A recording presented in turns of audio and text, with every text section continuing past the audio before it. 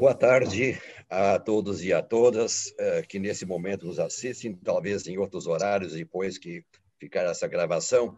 Ah, esta abertura do nono encontro científico, nono seminário promovido eh, pelo grupo de estudos eh, do IA, chamado Impactos das Novas Morfologias na Vida dos Trabalhadores, Novas Morfologias do Trabalho na Vida dos trabalhadores, às vezes nós chamamos também na vida e saúde dos trabalhadores. Esse é o nono encontro, nós fazemos um por mês, e esse nono encontro está começando agora. Nós estamos muito felizes com a presença e a participação de todos vocês que estão assistindo. Meu nome é René Mendes, eu sou o pesquisador colaborador do IA, né, coordenando esse grupo de estudo e também responsável por esse projeto de pesquisa desde é, agosto do ano passado. A minha área de origem é a saúde coletiva e a saúde eh, do trabalhador, sou médico, e esse tema tem sido tratado de uma forma multiprofissional e multidisciplinar. Nós estamos muito felizes porque a cada mês podemos dedicar um aspecto dessa problemática em relação, primeiro, aos problemas relacionados às novas morfologias do trabalho, seu impacto sobre a vida, sobre a saúde de trabalhadores e trabalhadoras, mas também volta e meia, queremos trazer um alento, queremos trazer uma luz, queremos trazer um suspiro de esperança e, sobretudo, de possibilidades, né? Possibilidades. E é por isso que organizamos este evento uh, nesta tarde, que vai ficar todo sob a responsabilidade da nossa companheira que está aqui do lado, a, a doutora Christian Leal, uh, que é também integrante desse grupo de estudo. O grupo de estudo foi fundado a partir de setembro do ano passado e ele, no, no momento, é formado por 16 pessoas e constituído por 16 pessoas, também de diferentes origens profissionais, diferentes vínculos institucionais e diferentes eh, localizações geográficas no país. Hoje temos uma coincidência geográfica muito feliz e prazerosa, que gostaríamos muito de ressaltar, que hoje nós estamos com o, o, nosso, o nosso, nosso tema todo sediado fisicamente na Bahia.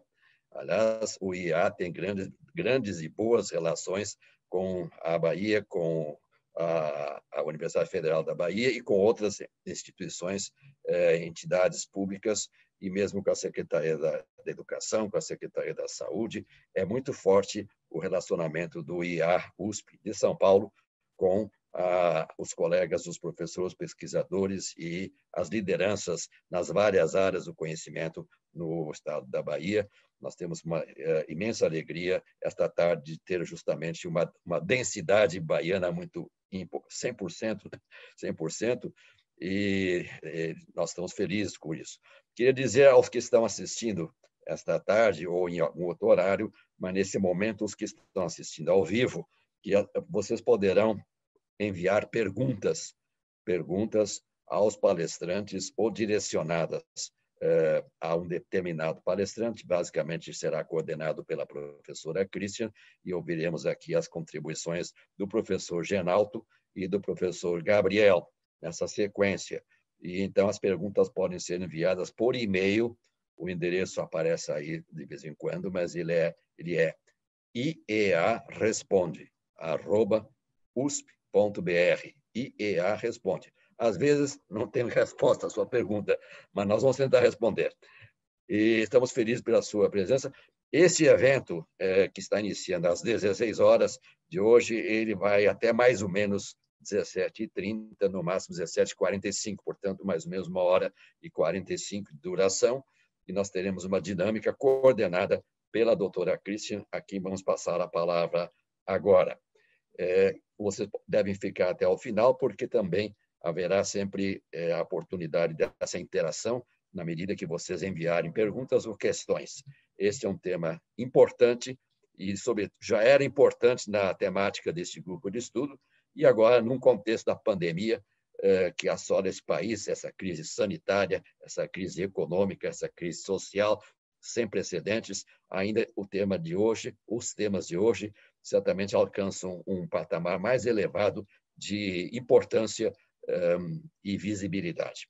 Passo a palavra, então, para a Cris, a quem agradeço, e também já aproveito para agradecer os nossos ilustres convidados, que serão apresentados pela Christian, e que nos honram esta tarde no evento do IA. Muito obrigado.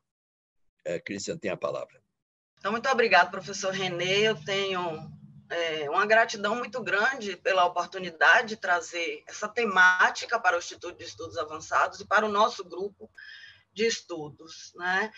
É um grupo que tem se, se revelado muito preocupado com toda essa situação de precarização em que a gente vive, agravado, como o senhor mesmo falou, pela pandemia. O título ele remete a uma, a uma situação de resistência, né? São as estacas de resistência que fundam né, as estruturas das fundações dos prédios. Então, ele, ele nos remete exatamente a essa ideia. Nós temos que fincar estacas de resistência a toda essa situação caótica em que o Brasil se encontra, com grandes prejuízos para os trabalhadores. Nesse sentido, nossa temática ela tem o objetivo de trazer luzes né, para esse universo, que é a temática da solidariedade que se insere nos contextos agora de uma economia, uma outra economia como a que nós iremos abordar. Então, nós, nós trazemos aqui dois grandes representantes, não só no plano regional, local, mas também no plano nacional e até internacional, que são o professor Gabriel Crachete, o professor Genalto de Carvalho, França Filho.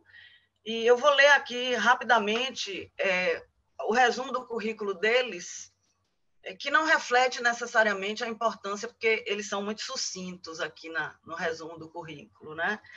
Então, o professor Gabriel Crachete, ele é graduado em Economia pela Universidade Federal da Bahia, mestre em Economia pela Universidade Federal da Bahia, doutor em Políticas Sociais e Cidadania pela Universidade Católica de Salvador, foi professor titular da Universidade Católica de Salvador de 89 a 2019 e pesquisador do Núcleo de Estudos do Trabalho, vinculado ao Programa de Pós-Graduação em Políticas Sociais e Cidadania. Foi coordenador do Programa de Pesquisa e Extensão Economia dos Setores Populares e da Incubadora Tecnológica de Cooperativas Populares, e TCP-UXAL, integrou de 2011 a 2014 a Câmara Básica de Assessoramento e Avaliação Científico-Tecnológica da FAPESB. E hoje é colaborador da incubadora Incuba da Universidade Federal do Recôncavo da Bahia. Então, professor Gabriel, é um grande prazer tê-lo aqui, é uma honra.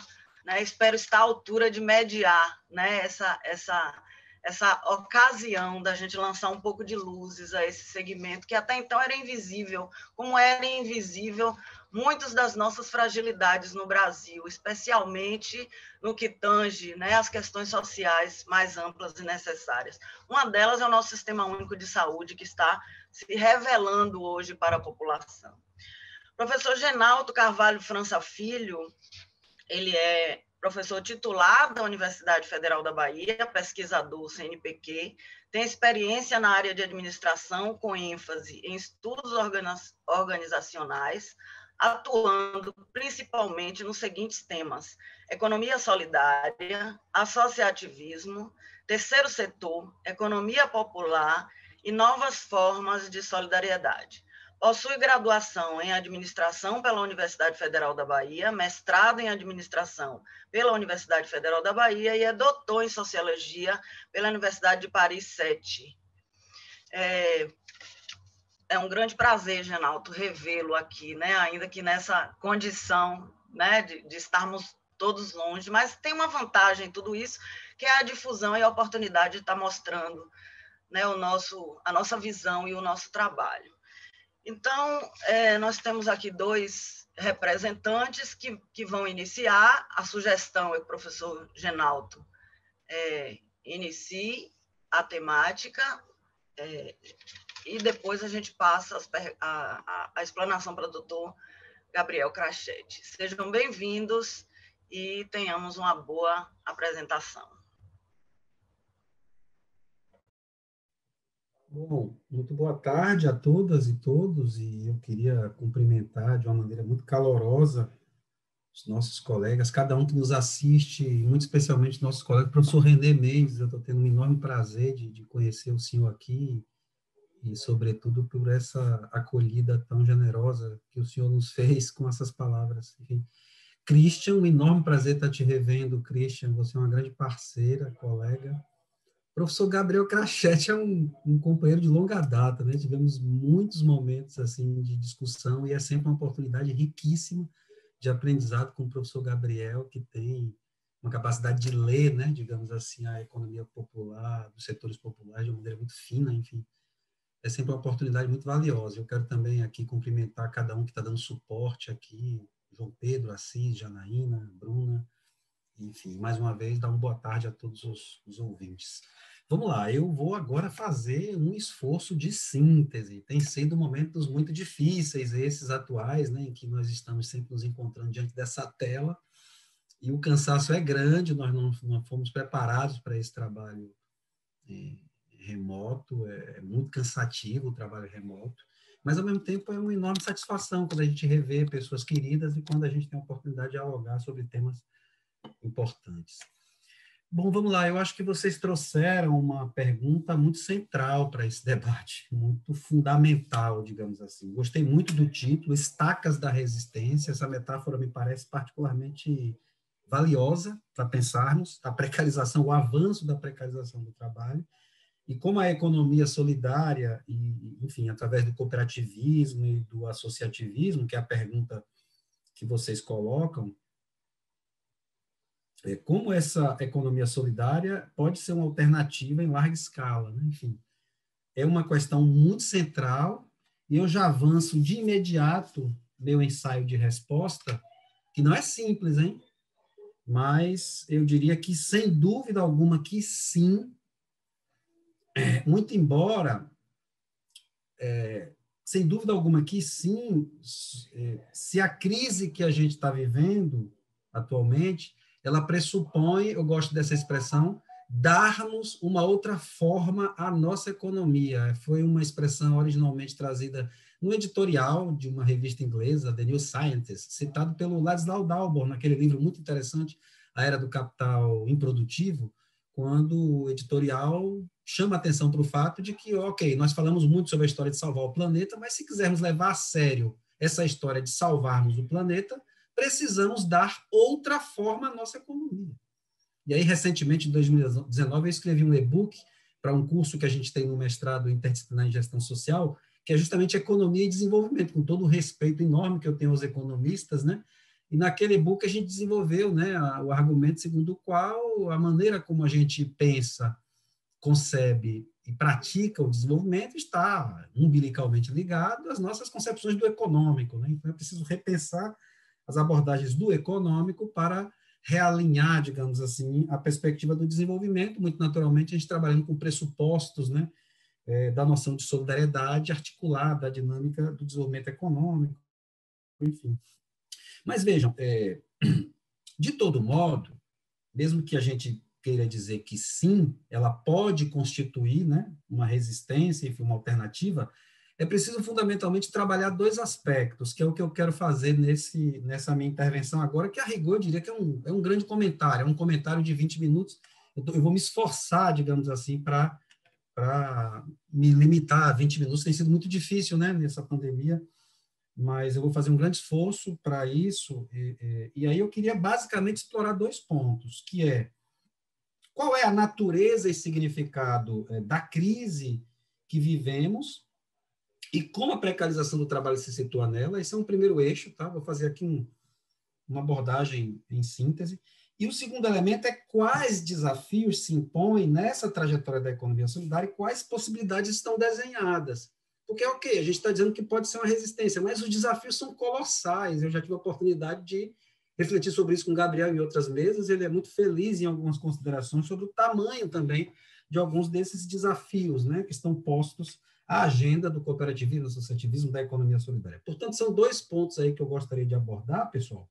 E aí eu vou começar, então, pelo primeiro, sobre a natureza da crise que estamos vivendo, que eu chamaria de um problema relativo à tripla insustentabilidade. A gente discutiu isso nesse livro recente, né, que a gente publicou pela, pela editora da UFBA, Edufba, e ele, ele foi concebido antes da pandemia, portanto só saiu na versão impressa, o um livro chamado solidariedade e organizações pensar uma outra gestão. Nossa reflexão, em resumo, é reflexão sobre, bom, se a gente quer discutir uma outra economia, a ideia de uma outra economia nos convida a pensar uma outra gestão, né? já que o campo do conhecimento sobre a gestão tem sido refém de paradigmas, modalidades, perspectivas, visões e abordagens que limitam em muito as possibilidades de inovação na economia, né, através da economia solidária, etc. Mas, enfim, a gente, a gente considera que a, a crise que a gente vive pode ser refletida na ideia de uma tripla insustentabilidade. É como se a dinâmica do desenvolvimento das sociedades contemporâneas estivesse sendo posta em xeque estivesse sendo é, limitada por uma série de dilemas que se apresentam a essa dinâmica. E a gente vai dizer que esse, esses dilemas constituem as, ins, as insustentabilidades da dinâmica do desenvolvimento contemporâneo, e vamos falar em, em três insustentabilidades, muito embora, obviamente, elas estejam conjugadas. Né? Uma insustentabilidade de natureza ambiental, esse é o primeiro ponto, uma, uma insustentabilidade de natureza socioeconômica e cultural, segundo aspecto, e, finalmente, uma insustentabilidade política. Mais uma vez, essas insustentabilidades são indissociáveis, mas muito rapidamente aí, hein, pessoal? É, é uma consideração muitíssimo breve, cada um desses elementos se prestam a análises muito mais aprofundadas e, sobretudo, a apresentação de indicadores muito claros desses problemas. Sobre o problema da insustentabilidade ambiental, quem não ouviu falar na ideia de que os rumos do desenvolvimento atuais estão pondo em xeque as possibilidades de vivermos nesse planeta que seria supostamente comum, né, digamos assim. É o problema dos, dos colapsos, né, do colapso ambiental, ecológico, aquilo que deu lugar a uma agenda de estudos hoje muito importante dos colapsistas, que não pode ser confundido com alarmistas, diga-se de passagem, né? É evidente que as ideologias negacionistas têm pretendido não levar a sério esses estudos, muito criteriosos, né, de, de cientistas das mais variadas áreas do, do, do conhecimento, que vão mostrando os níveis e graus de degradação ambiental, os níveis e graus de exaustão dos recursos e os impactos que isso tem produzido, fruto é, de uma espécie, vamos chamar assim, de esgotamento do modelo, do sistema econômico em que a gente vive. Isso pode ser avaliado a partir de uma série de aspectos, enfim, que são muito mais visíveis e constituem evidências disso, os níveis de desmatamento no mundo, por exemplo, e é interessante que cada um desses pontos hoje estão nos noticiários diários, né, que a gente acompanha na grande mídia, e o caso brasileiro é emblemático, né, porque parece que o caso brasileiro leva esse modelo de desenvolvimento esgotado ao seu paroxismo. Né? O Brasil tem hoje se diferenciado no mundo, aliás, como uma espécie de párea, né? Porque ele tem levado ao extremo limite esse modelo de desenvolvimento que é absolutamente criticado, condenado. Aliás, algumas dessas críticas são muitíssimo antigas, né? A crítica ao crescimento econômico data dos anos 50, por exemplo, né? Enfim. Mas vamos lá, um indicador nível de desmatamento cada vez mais crescentes, e a questão da Amazônia está no centro da cena em relação ao desmatamento, contaminação química dos solos e águas, que tem a ver com também a expansão dessa atividade produtiva agrícola, né? que cada vez mais utiliza é, insumos químicos que produzem deterioração das terras, das, das fertilidade do, do solo, enfim, é, sem contar o problema da poluição das águas, dos oceanos, a poluição em plástico dos oceanos, enfim. A própria destruição da biodiversidade, alguns números são muito impressionantes, né? e esses números são sempre muito atualizados, a gente não consegue acompanhá-los. Mas, por exemplo, dados sobre praticamente metade da biodiversidade do planeta que foi perdida apenas naqueles 40 anos ali, entre 1970 e 2010. Né? Então, assim, os níveis de diminuição da biodiversidade do planeta são muito assustadores, né? E a, e a velocidade crescente com que isso acontece, sem contar aquilo que parece que é muito próximo do trabalho de vocês, os efeitos na saúde pública dos nossos hábitos alimentares, né? Consumo de produtos, enfim, agrotóxicos, etc. Aliás, a OMS já tem feito declarações né, há muito tempo sobre esse problema dos nossos hábitos alimentares, enfim.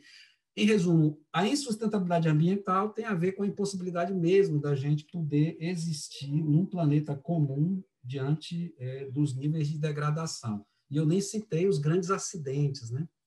E, e, a, e a própria questão do aquecimento climático, né, que é, vamos dizer assim, transversal a todos esses problemas, né, e os níveis de é, os acidentes ambientais, né, que a gente assiste em diferentes âmbitos, enfim.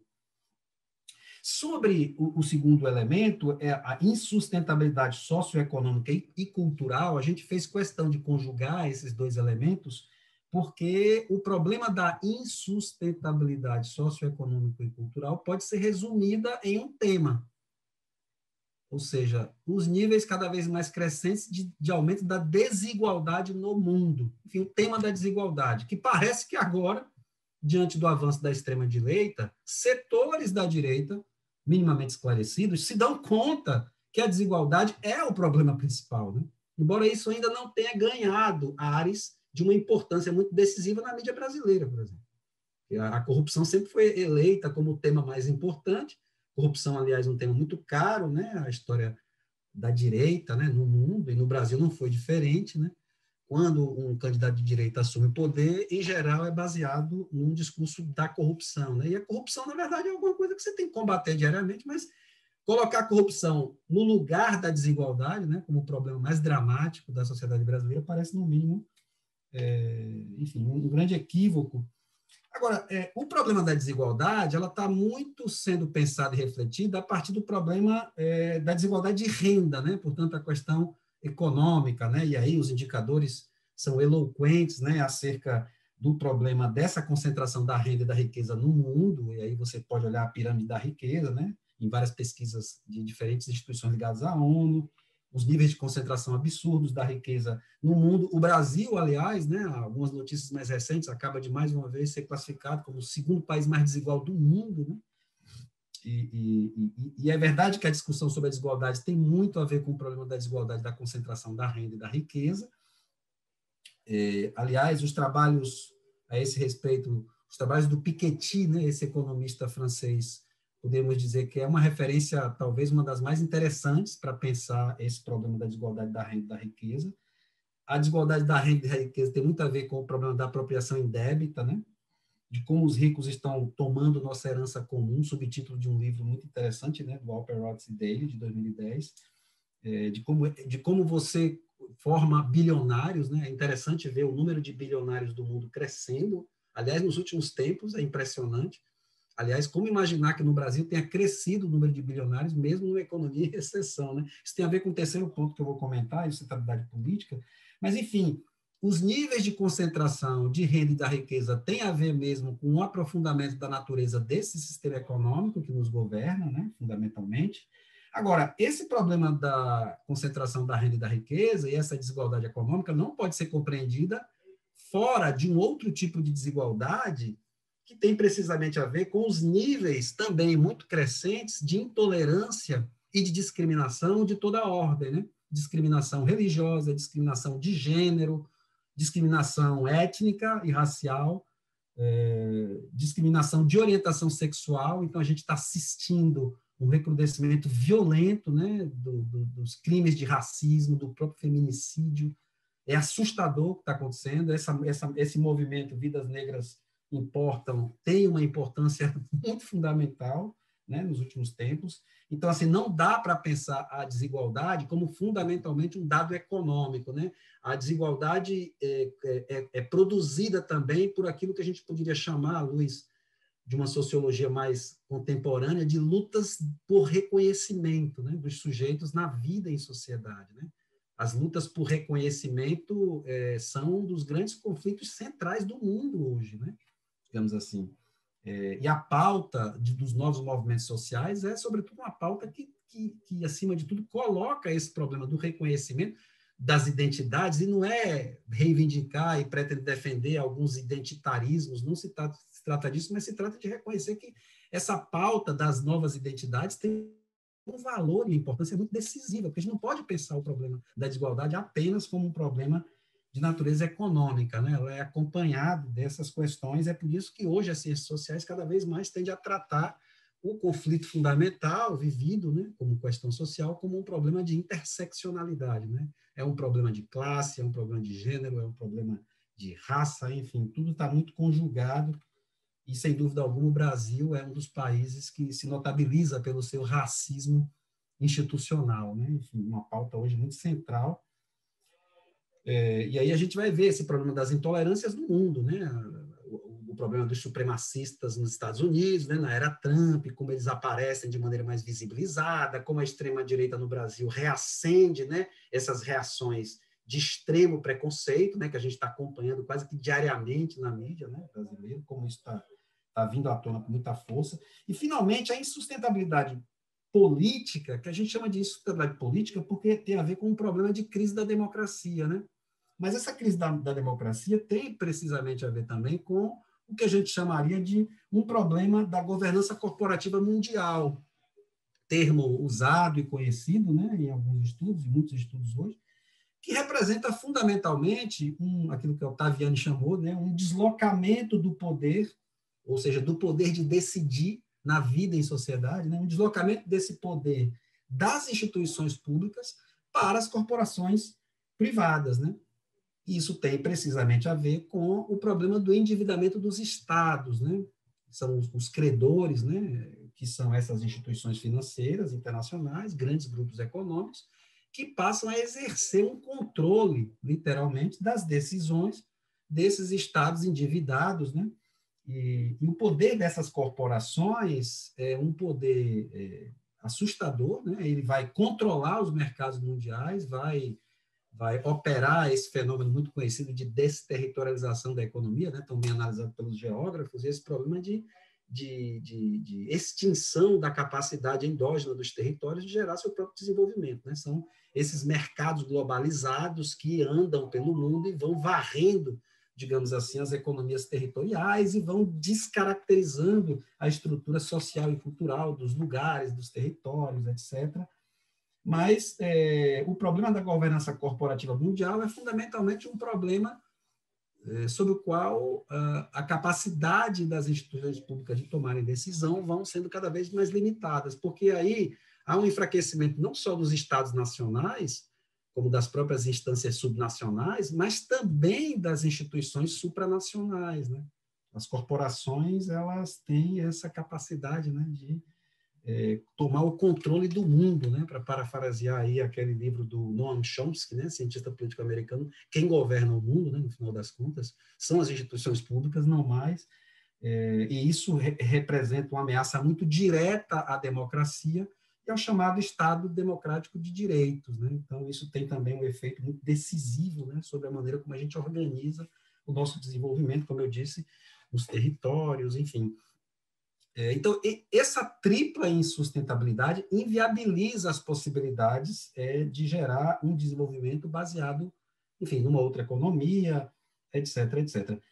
É, tem vários efeitos conjugados né, desse problema da tripla insustentabilidade, é, a questão das migrações no mundo, né, é um fenômeno muito sério, é, e o debate sobre o antropoceno hoje, né, que tem muito a ver com a relação dessa, é, dessa estabilidade ambiental que a gente comentou antes, Aliás, alguns dados são muito impressionantes sobre previsões de aumento de migra fenômenos migratórios no mundo. São praticamente 143 milhões de pessoas que vão estar migrando nos próximos anos. Imagine o efeito, o impacto que isso vai ter nas diferentes sociedades, hein? Tanto do ponto de vista do aumento das intolerâncias e das crises sociais, como a gente falou há pouco, sobre o problema da diversidade cultural, quanto em relação à própria dinâmica econômica, né? de, de geração de trabalho, enfim, de tudo mais. É... Nós temos feito uma avaliação, enquanto significado dessa tripla insustentabilidade, muito baseado numa formulação que nos é muito cara, que é a abordagem polaniana né, do desenvolvimento do capitalismo, onde a gente está defendendo um pouco essa ideia que o atual modelo de desenvolvimento ele é muito marcado por um divórcio né, entre economia e sociedade e também entre economia e democracia, né, como se o modo de desenvolver a economia, baseada numa expansão sem fins dos mercados, né, sem controle, sem regulação, ela vai deteriorando as formas de proteção social que as sociedades vão constituindo. Né?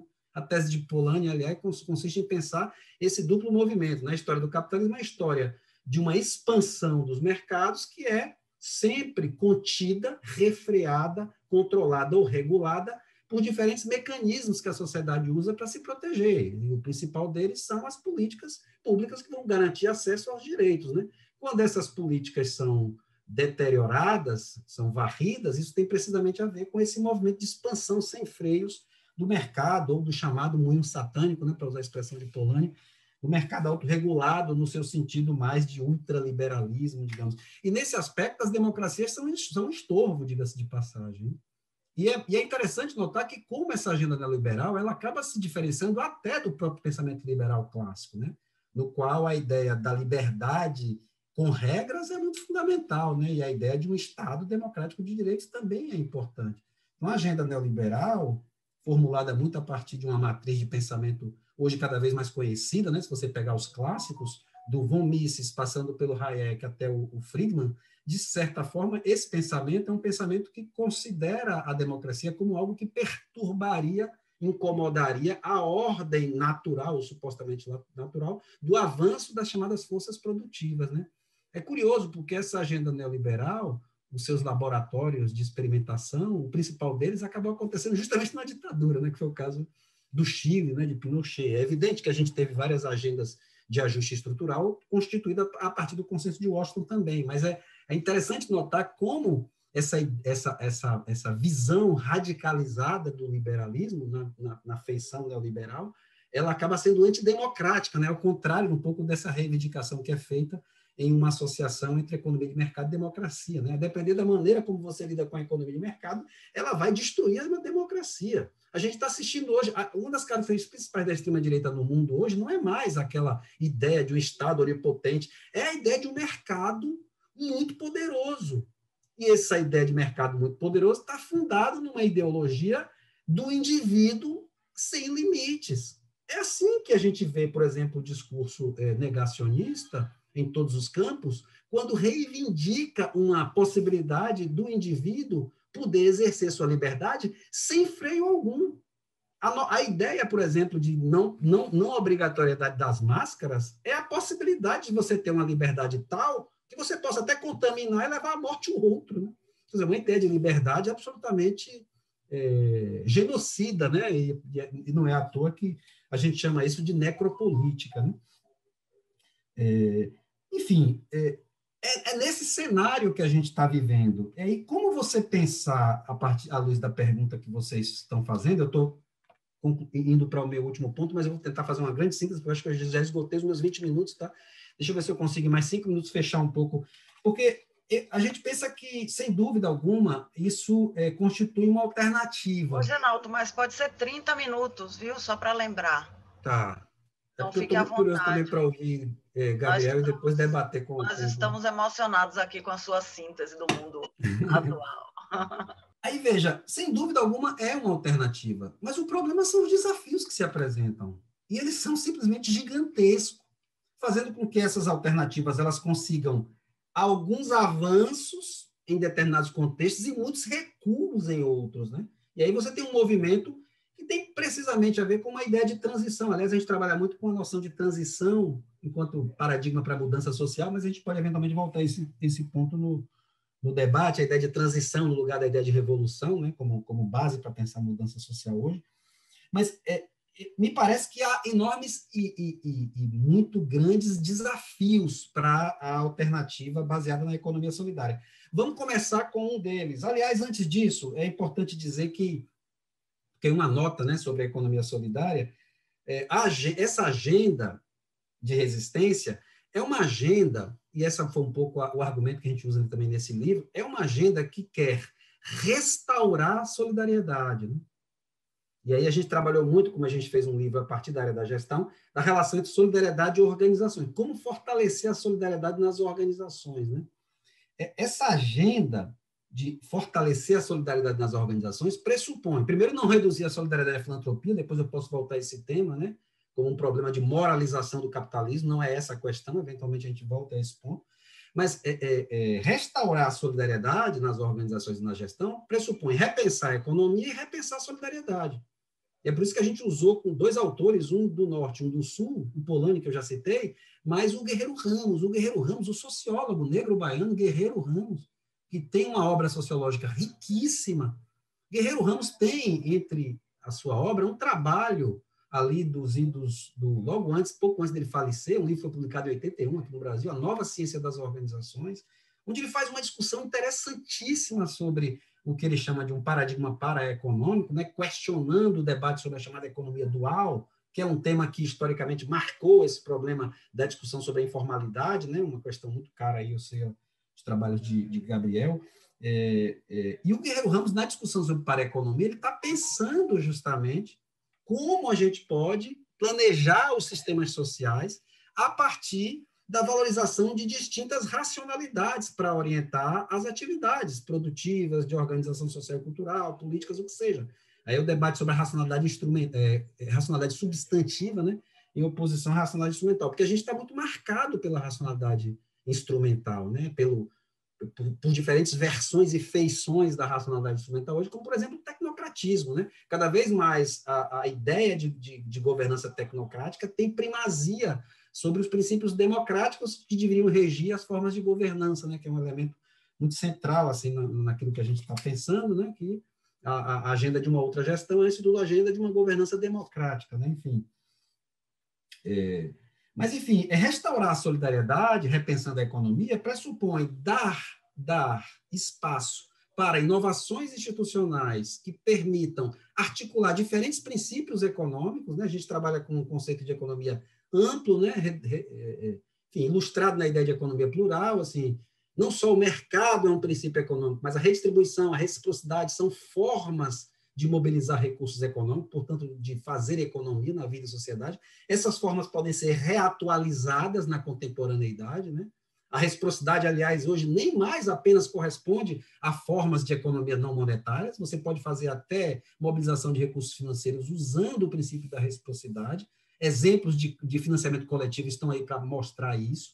E a redistribuição ela também se atualiza, né? Seja nas variantes né, da chamada economia pública do Estado, seja nas formas de viabilizar a subvenção, a subsidiariedade é, econômica, que é um mecanismo extremamente valioso. Né? Então, a economia, a economia solidária, na sua prática, é tanto uma tentativa de inovar articulando esses princípios econômicos, quanto é uma inovação quando ela ressignifica o próprio princípio de mercado quando na prática os empreendimentos de economia solidária vão, por exemplo, comercializar de uma outra maneira, baseado nos princípios do comércio justo e solidário, quando vão praticar relações financeiras de um outro tipo, como no exemplo das finanças de proximidade das finanças solidárias, quando vão trabalhar a dinâmica da produção de maneira diferenciada, com a ideia da produção coletiva, da autogestão, quando elas vão pensar uma prestação de serviços também diferenciada, quando vai fundir né, usuário e gestor do serviço, vão criar uma espécie de democracia dos usuários, ou quando vai pensar o consumo a partir de uma reflexão crítica né, sobre o consumo. É, então, há, há, aí uma ressignificação é, da relação mercantil, que eu diria que muitas empresas sérias acabam se baseando e incorporando, digamos assim. Que essa é uma agenda muito importante. Mas, finalmente, pessoal, o desafio, para tentar concluir aqui minha fala, o desafio da economia solidária ou dessa resistência, ela está em alguns âmbitos, eu queria só pontuá-los. O primeiro, e talvez, curiosamente, seja o maior deles, porque vai ser transversal a todos os outros. É, eu, tenho, eu tenho cada vez mais me convencido de que o principal desafio é de natureza cultural. Aliás, a tese poloniana é muito interessante. Né? Dizer, o grande problema do capitalismo, a gente se acostumou a fazer a leitura a partir de um certo determinismo econômico, o grande problema do capitalismo não é propriamente econômico, é que ele destrói as estruturas sociais e culturais, ele altera, né? ele, ele desloca, ele corrói. Né? O principal efeito é de natureza, portanto, cultural.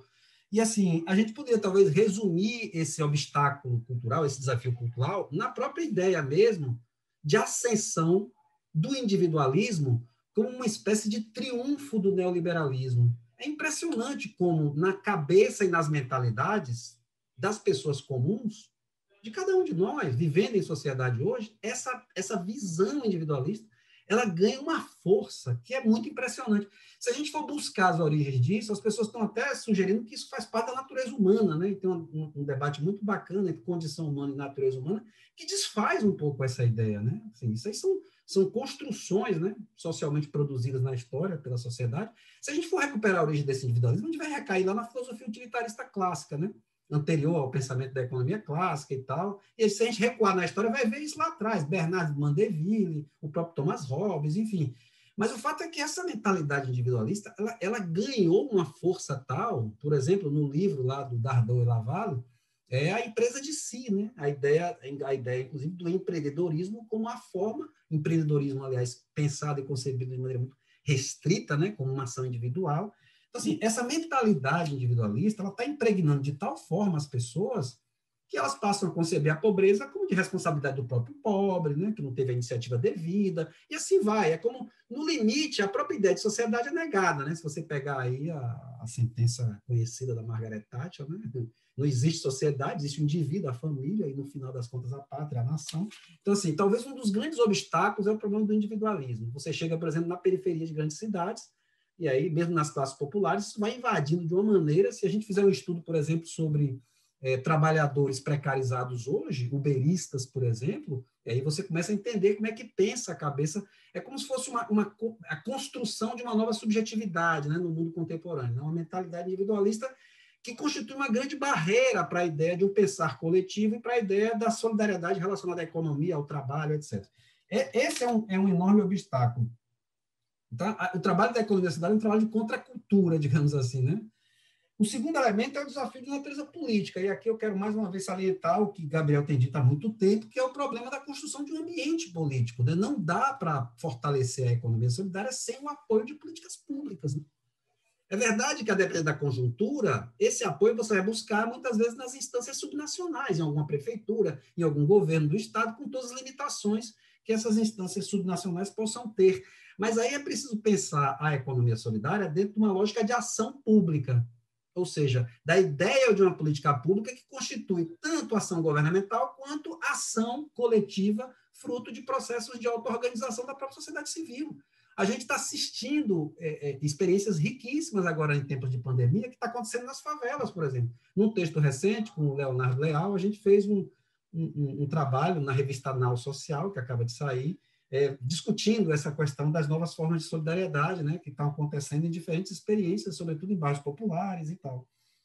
É, então, tem um desafio político que é fortalecer mecanismos de ação pública para garantir um ambiente favorável à, enfim, à propulsão né, dessas experiências, etc. Depois, evidentemente, tem os desafios econômicos, né? como é que a gente articula esses diferentes princípios econômicos né? nas iniciativas, como é que a gente pode fortalecê-lo, e tem, fundamentalmente, um desafio de gestão, né? como a gente está defendendo, que é um desafio que tem a ver com uma agenda, né? a agenda da outra gestão, porque a, a, a ideia de outra gestão é tanto uma concepção mais ampla sobre o conhecimento de gestão, quanto a formulação de práticas. Rapidamente, no primeiro capítulo desse livro, a gente propõe uma contra-história do conhecimento sobre a gestão, para dizer basicamente o seguinte, tá? Não tenho muito tempo para falar aqui, não. Basicamente o seguinte: o tema da solidariedade, tanto enquanto uma teoria, um conceito, quanto enquanto uma prática, ele foi absolutamente invisibilizado da história do conhecimento sobre a gestão. Muito embora a solidariedade sempre estivesse lá, seja nas experiências concretas, no norte do mundo, através da chamada, do chamado associacionismo solidário, que desde a primeira metade do século XIX foi muito efervescente na Europa, cooperativismo, mutualismo, o associativismo, são experiências de gestão, sim, são experiências de economia, de organização política, de organização social, mas são experiências de gestão. Isso simplesmente não foi visto, nem foi absorvido pelo conhecimento sobre a administração. O que dizem os manuais de administração? Nada acerca dessas experiências. Da mesma forma que no sul do mundo, numa realidade como a nossa, as lutas de resistência das culturas e povos ancestrais, do povo negro, do povo indígena, gerou iniciativas de organização e gestão extremamente valiosas que também não foram vistas, né? caracterizando aquilo que Boaventura de Souza Santos chama de uma sociologia das ausências, né? que é muito mais uma escolha deliberada de não vê-las, porque a rigor elas são até vistas, entretanto elas são consideradas não críveis, né? É por isso que é muito comum hoje em dia se dizer que ah, se você botar solidariedade na gestão, a gestão vai ser ineficiente, ela vai ser amadora, ela não vai ter importância. É um pouco essa mentalidade que se constituiu né, em torno da ideia de que é, solidariedade não está autorizada a participar do conhecimento e da prática da gestão. Então, é preciso construir a agenda de uma outra gestão, ou seja, é preciso desenvolver, inclusive, conhecimento aplicado nesse campo. Mais uma vez, é um convite, né? Como é que a gente vai fortalecer essas, essas experiências de economia solidária a partir desse conhecimento aplicado. Aí eu queria só concluir aqui para dizer o seguinte: é, é, no livro a gente apresenta uma, uma, uma, um conjunto de proposições sobre como fortalecer a solidariedade nas organizações. A gente vai fazer de, vai falar de governança democrática, de reconciliação entre o econômico e o social, e de uma coisa que eu posso voltar na discussão que é muito interessante de gestão da desmercadorização das mercadorias fictícias, né? ou seja, gestão é, do trabalho representando o ser humano, da terra e do território representando a natureza e é, da moeda representando o dinheiro. Né? Tem várias experiências interessantes a esse respeito no campo da economia solidária, assim como a, a questão da inovação social. Mas eu queria só terminar a minha fala aqui para dizer o seguinte: o caminho e a alternativa, sem dúvida alguma, deve estar posta na discussão sobre o território. A gente chamou de redes é, no território, né? as redes e alianças no território. Mas o elemento central, me parece, para fortalecer esse movimento da economia solidária como resistência, é organizar os processos de atividades econômicas, sociais, culturais e políticas nos territórios. Né? É, é, a discussão hoje, muito importante em nível mais amplo, é de pensar que a alternativa a essa agenda neoliberal é, de um lado, globalizar a política, está sendo muito difícil, né? porém, reterritorializar a economia. Né? Retornar à valorização das economias locais. Essa é uma discussão que eu acho que muitos de vocês já ouviram em diferentes ambientes. E a economia solidária tem um potencial e uma capacidade muito grande para fazer isso. Né? Agora, de novo, é preciso um ambiente político institucional favorável e é preciso, a partir desse ambiente, fomentar esses valores né? e, e, e reconstruindo uma cultura solidária que foi perdida. Né? Que contra a ideia de naturalização do egoísmo como algo nobre, né, digamos assim, é preciso enxergar como a solidariedade sempre participou das relações sociais né, e das relações econômicas. Eu termino aqui, me desculpem o alongar da fala. Professor, muito obrigada. Então, nós tivemos aí um grande panorama da crise, né? Crise ambiental, a socioeconômica e a política mas me parece que a política é exatamente a que pode dar né, a, a reversão desse quadro. E existe um certo desencantamento né, por parte dos atores de forma geral. Então, eu lanço algumas questões agora é, para reflexão. Né? Se é o político que está em crise, e se é através do político que nós podemos reverter esse quadro, Existem políticas públicas que podem, através da economia solidária, do associativismo, do cooperativismo, sendo implementadas por governos democráticos, criar luzes nesse universo do trabalho. É, nesse sentido, eu convido o professor Gabriel Crachete agora, né, no sentido de que ele traga essa conceituação dessa economia, dessa outra economia que o professor Genaldo falou, essa economia dos setores populares, onde se insere a economia solidária, os empreendimentos econômicos solidários, qual a diferenciação né, que se apresenta para nós, como é, houve essa institucionalização a nível de Brasil, é, um dos textos do professor Gabriel, ele traz, inclusive, a experiência da Bahia de, de, de fomento né, a, a, essa, a essa outra economia. E quais são os limites e as possibilidades que se apresentam né, para essa outra economia que exige do político a saída, onde o político parece estar mais desencantado, porque do ponto de vista ambiental a gente tem algumas resistências grandes e algumas iniciativas. Do ponto de vista socioeconômico e cultural, a gente tem também algumas resistências. Mas e no plano político, no plano governamental especificamente, que induz a políticas públicas? Em que sentido isso pode se materializar? Como ele vem se materializando? E quais as possibilidades de reversão desse quadro, se é que há? Então, professor Gabriel Crachete, seja bem-vindo. Pois está, eu quero agradecer a, a Christian pelo, pelo convite. É, quero dizer que é uma honra participar deste evento coordenado pelo professor René Mendes. quero cumprimentar as pessoas que, que nos assistem, a equipe que está dando suporte a, a transmissão, e, e ao Genalto, Genalto que é colega de, de longa data nas jornadas da economia solidária. Eu participei de, de vários debates juntos com ele, sempre foi uma, uma oportunidade de, de aprendizado muito grande, é sempre um prazer estar com ele.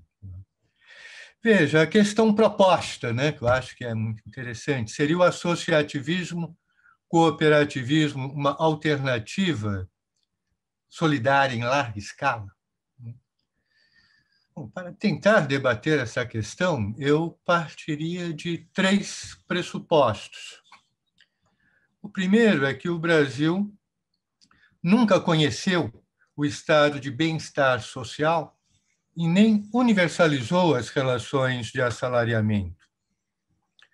O emprego regular assalariado no setor privado corresponde a pouco mais de, de um terço da população ocupada e 50% da força de trabalho encontra-se fora das normas do trabalho protegido.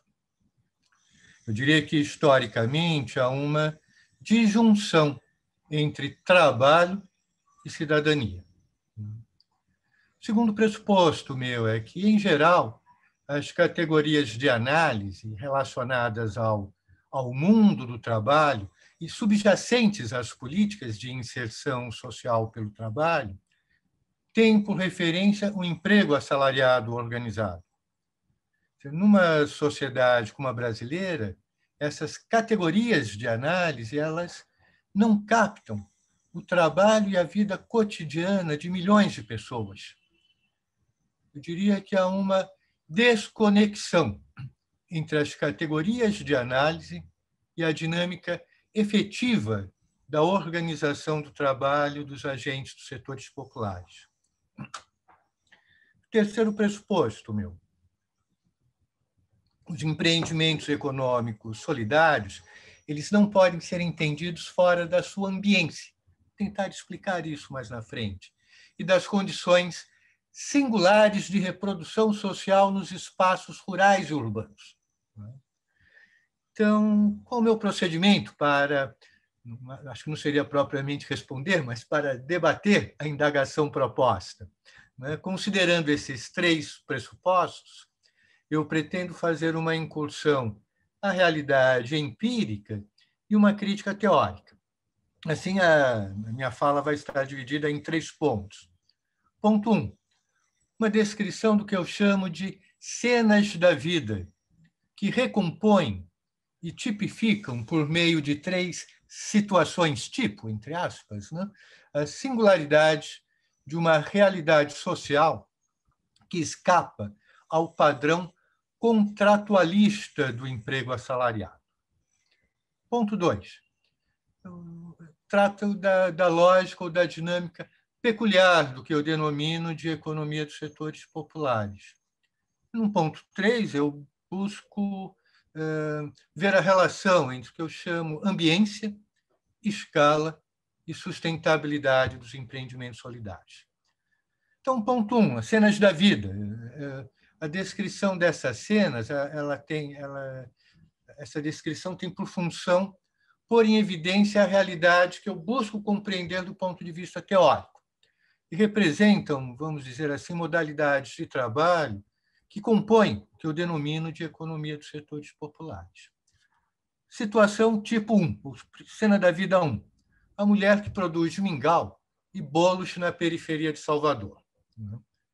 Então, uma mulher em idade adulta, ela não é uma pessoa que está ingressando no mercado de trabalho agora, trabalha desde muito jovem, mas nunca teve um emprego assalariado com carteira vive desse trabalho há muitos anos, não é um trabalho temporário, passageiro, eventual, um bico enquanto não consegue um emprego assalariado. É um trabalho permanente. O local de trabalho é a sua própria residência e os clientes são moradores do mesmo bairro. Bens de consumo duráveis, como fogão e, e geladeira, para ela, são instrumentos de trabalho. ela não dispõe de um serviço de, de, de acesso ao crédito, de assistência técnica, de qualificação profissional adequada ao trabalho que realiza. Não recolhe para o INSS. Não tem direito à aposentadoria, portanto, ao seguro-desemprego, à licença maternidade ou auxílio-doença. Não dispõe de garantia no caso de doenças ou acidentes. Vive na incerteza do dia de amanhã e tem uma renda inferior a um salário. A um salário. Situação tipo 2.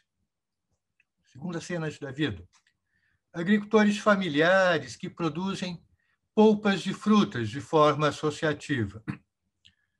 Trata-se de uma atividade não agrícola feita por agricultores familiares. As instalações e os equipamentos pertencem ao conjunto dos trabalhadores associados.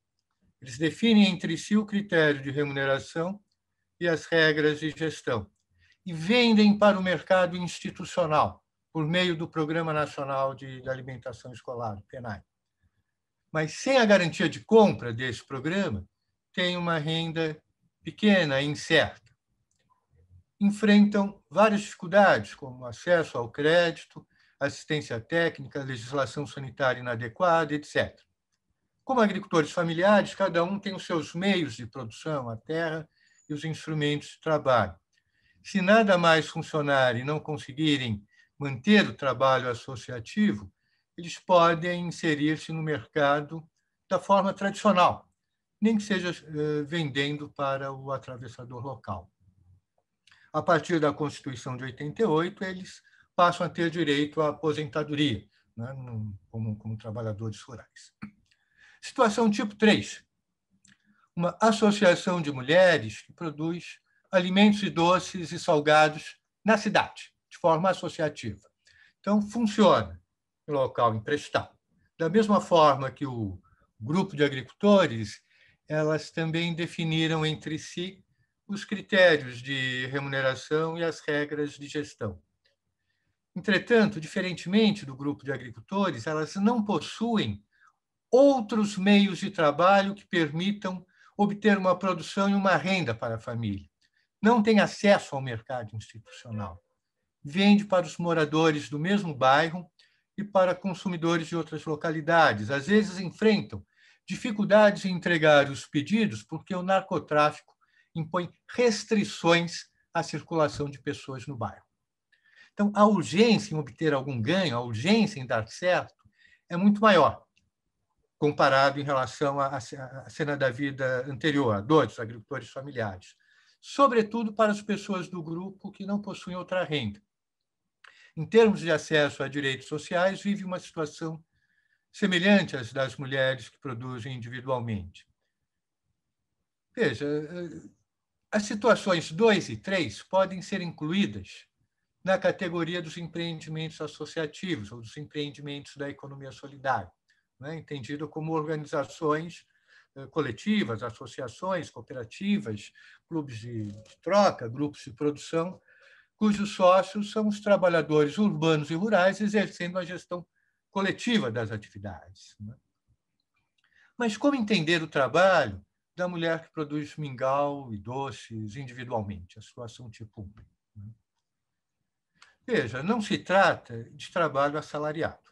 Ela não vende a sua força de trabalho como assalariada.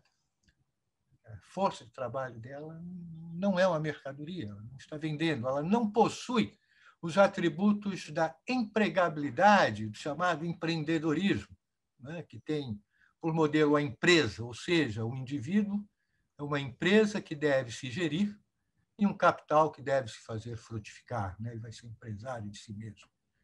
Defini-la como uma trabalhadora informal mais esconde do que revela a lógica peculiar do trabalho que essa mulher realiza. É? Ela, o termo informal ele define uma situação pela negatividade, pelo que não é. Ou seja, coloca no mesmo plano a empresa que contrata trabalhador sem carteira ou que burla a legislação trabalhista. Todos estariam no mesmo plano de trabalho informal. Né? Então, essa trabalhadora também não possui os requisitos do trabalho associativo, não, é? não, não trabalha de forma associativa. É popular, mas não associativo. Então, como tal, estaria fora do campo das políticas em apoio à economia solidária. Veja, essas categorias predominantes, primordialmente centradas no trabalho assalariado regular, elas não captam ou mantêm na penumbra como uma face oculta e indefinida desse nosso capitalismo o trabalho e a vida cotidiana de milhões de pessoas que parecem compelidas do ponto de vista analítico ao limbo das relações sociais. Essa desconexão entre as categorias de análise e a dinâmica efetiva. Ou, dito de outra forma, as categorias de análise ofuscam o entendimento desta realidade, estabelecendo no âmbito conceitual um limbo de relações sociais existentes, mas não reconhecidas. As categorias de análise, por sua vez, reagem sobre as estruturas, porque são essas categorias que estão subjacentes às políticas de inserção social pelo trabalho, né? seguro-desemprego, qualificação, etc., voltados para o emprego regular assalariado. Né? Então, essas categorias de análise retroagem sobre as estruturas e repõem, assim, do ponto de vista analítico, as condições que reproduzem a disjunção entre cidadania e trabalho. Então, eu diria que a, a insuficiência das políticas de inclusão pelo trabalho não é apenas programática, mas envolve também uma problemática conceitual.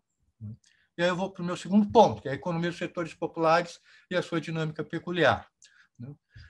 O que aproxima e torna peculiar essas três modalidades de trabalho representadas nessas, nessas três situações tipo, além de todas produzirem alimentos, né, mais imediatamente visível.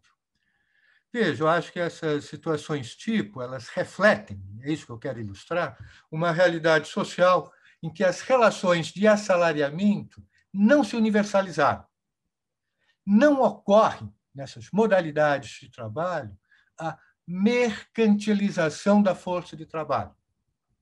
Os trabalhadores retratados nessas cenas da vida produzem mercadorias mas a, a, a sua força de trabalho não se constitui numa mercadoria. Ou seja, temos a produção de mercadorias por uma não mercadoria. Então, eu reúno, sob a denominação de economia dos setores populares, esse trabalho realizado de forma individual, familiar e as diferentes modalidades de trabalho associativo que usualmente caminham separadas nas análises predominantes. É? Então, essa economia dos setores racionalidade, uma lógica econômica própria, né? eu diria, ancorada na geração de recursos monetários ou não, destinados a prover e repor meios de vida.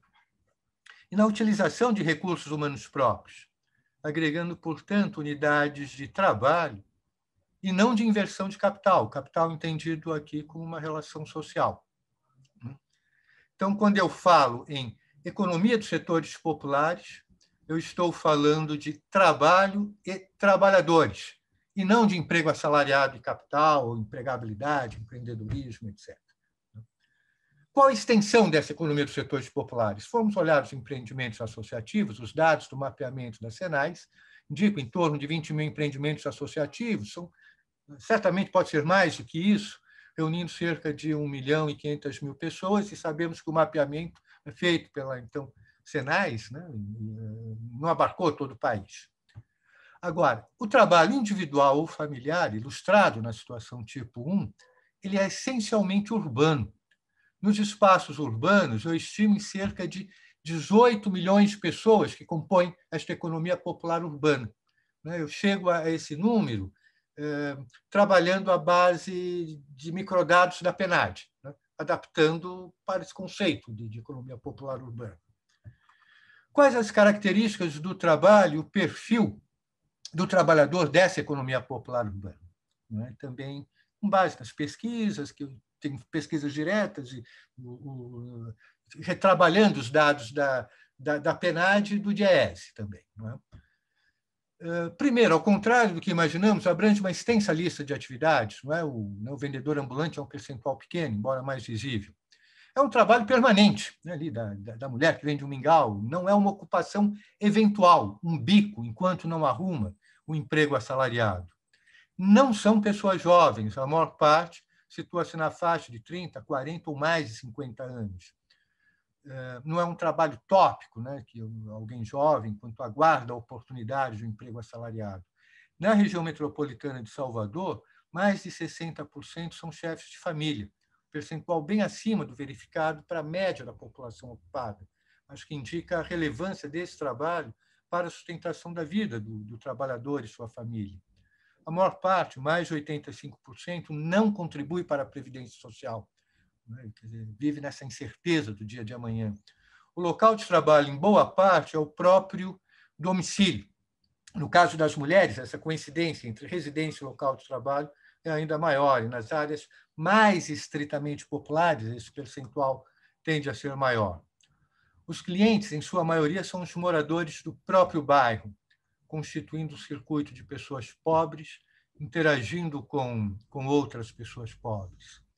E, diferentemente do que nós aprendemos e ensinamos nos manuais de economia e administração, essas pessoas não separam o dinheiro do negócio das, das, das, das despesas domésticas. Né? Aquilo que né, os administradores, economistas dizem, olha, tem que separar o dinheiro do negócio do, do dinheiro doméstico. Né? Uma mulher que produz um mingau, ela não vai separar o uso do açúcar, metade aqui é custo variável, metade para o café da manhã da família, e, né, e enfim. Né? O fogão é um bem de consumo e um meio de trabalho também. Como é que você vai fazer a, depreciação do fogão para o cálculo do custo né, fixo, enfim.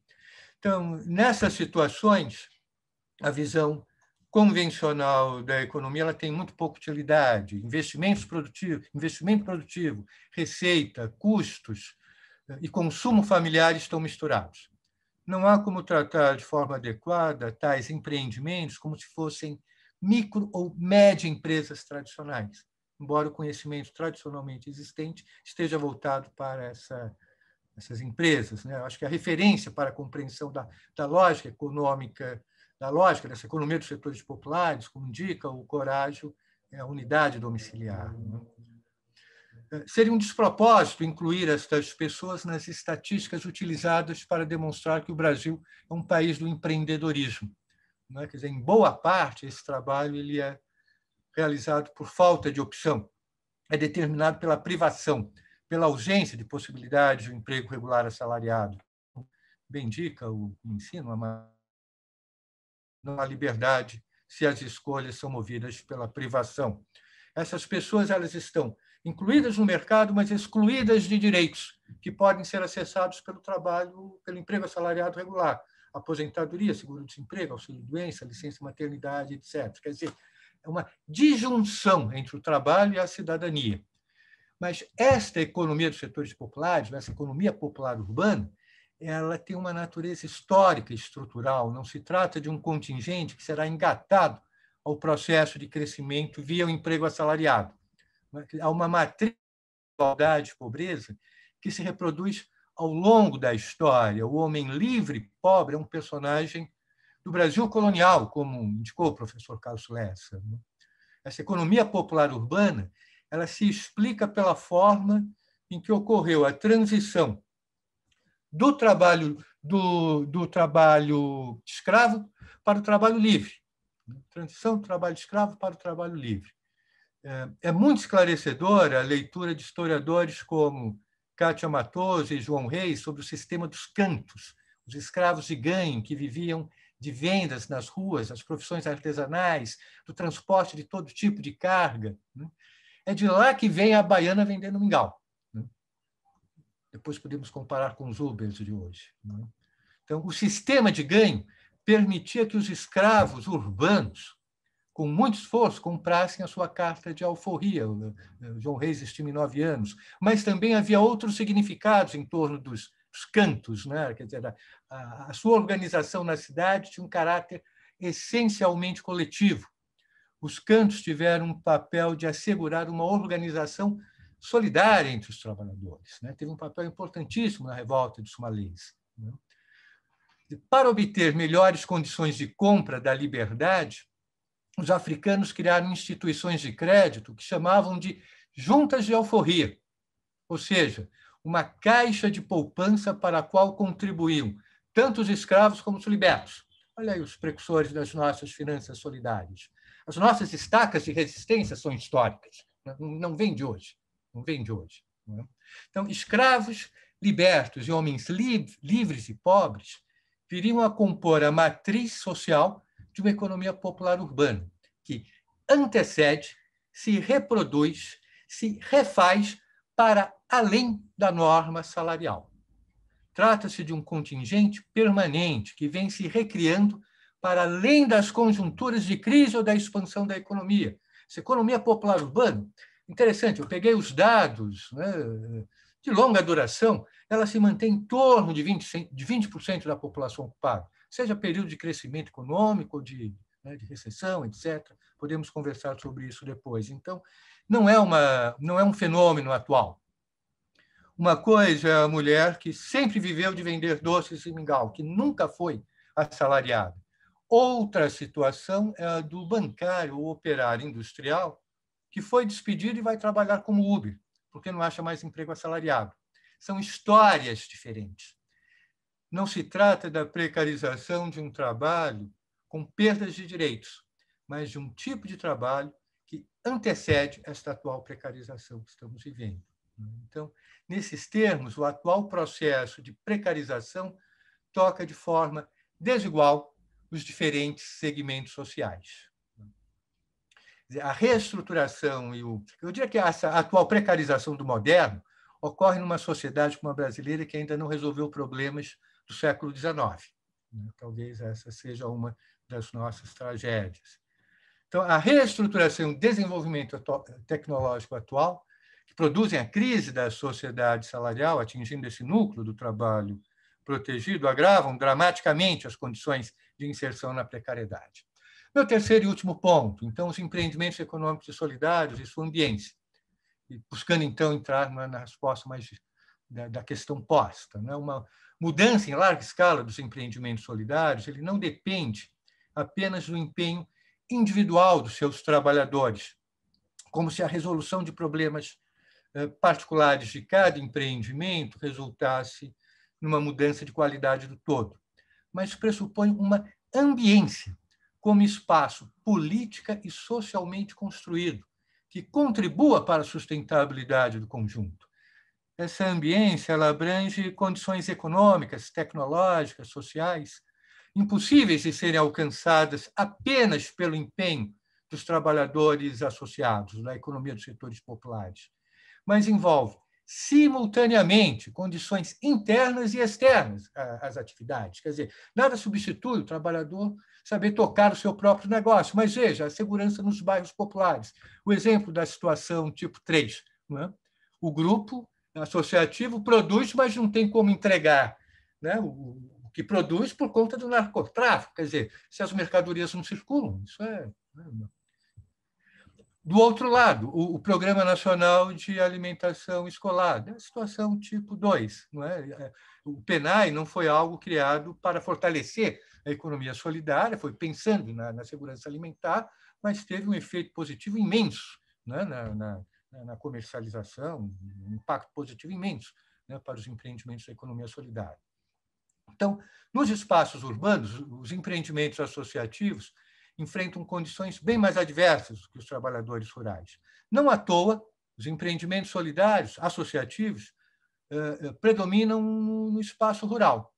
A maior parte está localizada né, dos 20 mil empreendimentos está no espaço rural. Se pegar o exemplo da região metropolitana de Salvador, e indo concluindo, é? Eh, são 2 milhões a população economicamente ativa, a economia popular urbana, 470 mil pessoas, 400 mil desempregados, 870 mil pessoas. Os empreendimentos associativos na RMS são mais ou menos 100, somam 100, totalizando cerca de mil pessoas, ou seja, correspondem a 0,25% dos trabalhadores da, da economia popular urbana. Então, eu diria que, tal como existem hoje, os empreendimentos econômicos solidários representam, nos espaços urbanos, uma alternativa limitada ao desemprego, e ao trabalho precário, nos espaços urbanos. Numa realidade como a brasileira, pensar a economia solidária é pensar o popular. O potencial de desenvolvimento dos empreendimentos associativos ele é condicionado pela extensão e característica da economia dos setores populares, tal como existe concretamente nos espaços urbano e rural. Eh, nos espaços urbanos, as pessoas que integram os empreendimentos associativos não são os assalariados regulares, mas principalmente as que vivem, né, que ganham seu sustento do trabalho realizado de forma individual e familiar. Então, uma mudança de qualidade dessa economia dos setores populares, essa é a minha hipótese, ela não se contrapõe, mas favorece o desenvolvimento de empreendimentos associativos populares, a existência de políticas específicas para essa economia popular urbana, é? podemos conversar sobre isso depois, ela não se contrapõe, ela favorece né, o desenvolvimento dos empreendimentos associativos. Nas condições atuais, uma das fragilidades e limitações das políticas voltadas para a economia solidária consiste exatamente nesta disjunção entre os empreendimentos associativos e os trabalhadores da economia popular urbana. Então, finalizando, a, a superação dessa restrição não depende apenas da capacidade de gestão dos integrantes dos empreendimentos, mas pressupõe uma ambiência que permita o acesso a direitos econômicos e sociais. Então, não é uma questão técnico-econômica, mas é essencialmente cultural e política, né? e, como, como acentuou o Genaldo também. Então, eu termino por aqui. Desculpe, eu acho que terminei ultrapassando o tempo.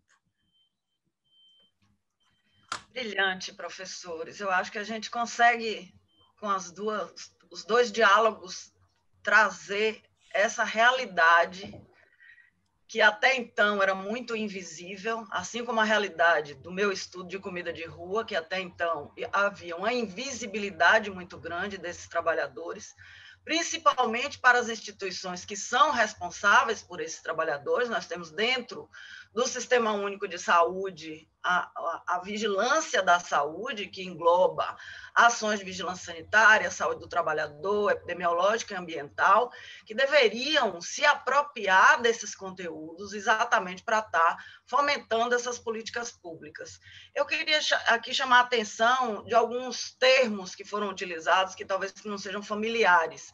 A Secretaria Nacional de Economia Solidária, que foi criada né, durante o governo é, do presidente Lula, a gente tinha o Paul Singer como secretário, e que delineou uma série de propostas e de programas, dentre ele o programa é, de aquisição de alimentos, né, a inserção do, do, do, do PENAI para aquisição dos alimentos da alimentação escolar. Então, a gente teve já algumas experiências exitosas que eu gostaria de destacar aqui. O professor Gabriel não citou na fala dele, mas no texto dele, né, o governo do estado ele implementou algumas políticas onde a Secretaria de Trabalho, Emprego e Renda criou nos territórios né, de, de, de identidade culturais, a Bahia é dividida em vários territórios de identidade, e criou, é, é, fomentou empreendimentos econômicos solidários. Então, assim, a gente vê que é, existe um contexto de, de, elaboração de políticas, de implementação de políticas e que se concretizam através de programas. Agora, a gente não tem aqui nenhuma pergunta, então eu fico encarregada de lançar aqui algumas questões né, que, me, que me incomodam, inclusive. Nós temos é, no Brasil uma fragilidade muito grande institucional do ponto de vista da administração pública. Tanto que ela agora vem sendo massacrada, vai ser provavelmente a, pro, a próxima reforma que nós teremos, né, onde o serviço público provavelmente vai ser duramente atacado. Mas são as instituições públicas que deveriam estar à frente né, de, da defesa é, vocês citaram os empreendimentos de economia solidária, grande quantidade de, de empreendimentos que lidam com os alimentos, os agricultores familiares no campo, as, as produções de geladinho, de geleia, que estão é, sob a ótica também da, da qualidade sanitária. Então, eu pergunto: qual é o papel dessas instituições e dessa articulação institucional no sentido de estar qualificando esses empreendimentos, essa economia dos setores populares, com o que eu, em detrimento do que eu caracterizo na, na, nos meus estudos como uma ação meramente fiscalizatória e regulatória no sentido de criar normas que, que, que, causam empecilho a esses empreendimentos. Então, a gente pensa numa regulação que seja uma regulação que favoreça, que legalize, que é, fomente, que oriente. Como é que vocês veem é, essas instituições públicas, a gente sabe que está muito restrito às secretarias de Trabalho, Emprego e Renda e Secretaria de Agricultura. Como é que vocês veem essas outras instituições que deveriam estar tá, é, fortalecendo né, essas políticas é, desses setores de economia popular? Fica aí à vontade para qualquer um dos dois. O que eu queria colocar é um elemento que toca muito alguns argumentos de base né, de Gabriel, porque me parece que é, a resposta à tua pergunta tem a ver, de novo, com um problema de disjunção. Gabriel se referiu à disjunção, né? Diferentes tipos de disjunções você se referiu, o problema da separação do empreendimento associativo do, da atividade individual e o problema da, do descolamento das categorias conceituais para ler o funcionamento da economia real, né? sobretudo no que diz respeito a chamada economia de setores populares. Aí, me parece, é, é, Christian, que na sua pergunta, primeiro, há um, há um freio de arrumação que não foi feito, ou seja, quem vai propor a política já está partindo de diagnósticos, vamos chamar assim, comprometidos ou precários. Assim, é, é, será, seria necessário a política pública, os gestores públicos, levar muitíssimo a sério essa caracterização, por exemplo, que o Gabriel traz da natureza e especificidade dessa economia dos setores populares. Porque aí você tem que pensar uma agenda de apoio público que pudesse fortalecer essa capacidade da economia popular em ser um veículo de eh, geração de renda, de estabilização, de organização da vida social. Então, isso é muito importante em tempos atuais, quando a gente, historicamente, sempre trabalhou com um paradigma segundo o qual, ah, o sujeito não está incluído, é, ele está excluído, ah, mas ele vai incluir. Gabriel, como economista, deve lembrar muito bem dessas teses é, do desenvolvimento econômico, que, que acreditava que a informalidade, aquilo que é chamado de informalidade, teria um tempo de duração é, limitado, né? afinal de contas, isso seria absorvido na dinâmica do desenvolvimento capitalista. É curioso, porque hoje, é, até mesmo os liberais já reconhecem, não tem como gerar emprego, um trabalho na forma de emprego para todo mundo, mas ainda há essa, essa crença, digamos assim, que essas pessoas se transformarão em empreendedoras. Né? Então, assim, o, para, o paradigma do trabalho assalariado cedeu lugar ao paradigma do empreendedorismo, mas o paradigma de um outro tipo de trabalho jamais foi levado a sério, foi visto, foi trabalhado. Foi... A, essa descrição quase que etnográfica né, que Gabriel faz da dinâmica dessa economia dos setores populares, ela precisa se constituir como um, um modelo de referência para pensar adequadamente as políticas que irão, é, que irão dar suporte a essas, a essas práticas, considerando aí que estaríamos vivendo num ambiente do ponto de vista econômico, muito semelhante àquilo que a gente chama de economia plural, né? imaginar, ou que Guerreiro Ramos chamou de paradigma paraeconômico, imaginar diferentes enclaves de organização da vida social. E é bom dizer que, na questão da disjunção, que Gabriel chamou atenção, entre o empreendimento associativo e o trabalho individual, aí é interessante, né, Gabriel? Porque esse trabalho é individual, mas ele é também coletivo e tem muita solidariedade ali, né? Já que a, a família participa de maneira invisibilizada, né?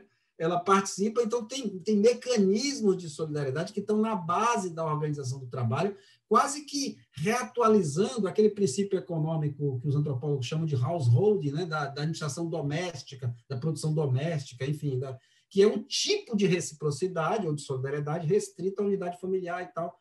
Enfim, então tem, é preciso olhar de uma maneira muito, muito específica isso e orientar as políticas a partir dessas demandas e necessidades. Desculpa aí, acabei falando. Professor Gabriel, agora é com o senhor, por gentileza. Christian, eu estou absolutamente convencido da importância de políticas públicas apropriadas, adequadas, né? Aos empreendimentos da economia dos setores populares, aí incluídos empreendimentos associativos. Né?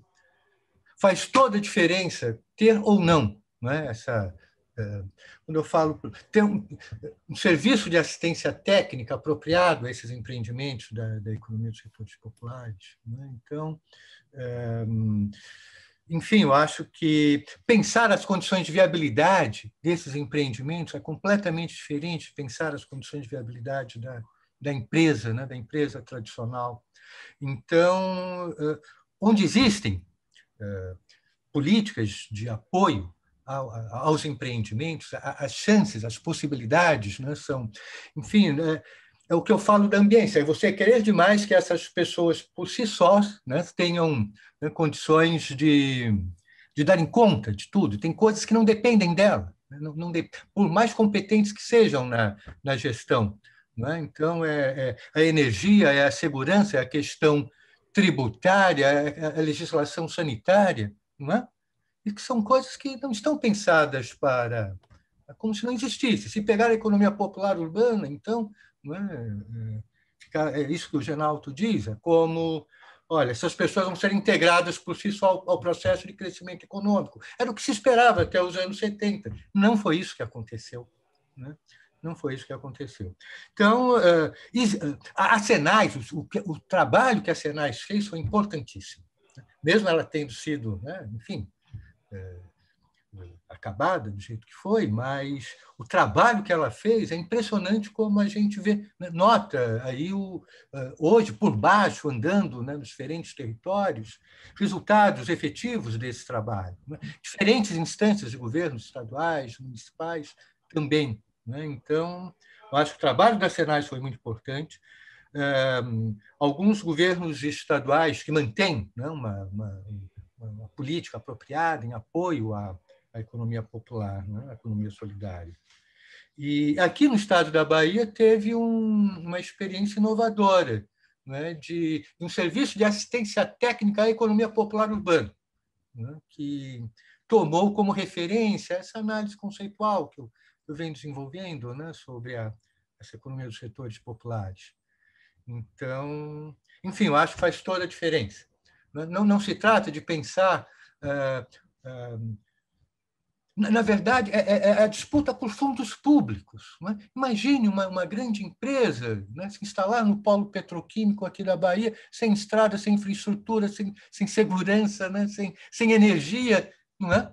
Aí a situação está lá, às vezes não, não, não, tem, não tem acesso à energia, não tem a estrada. Você vai dar um curso de boas práticas de produção de alimentos para grupos que produzem alimentos e o esgoto está passando ali pela, né, pela, pela porta da casa da pessoa, e você, ou pela associação, e você fazendo um treinamento de boas práticas de produção de alimentos.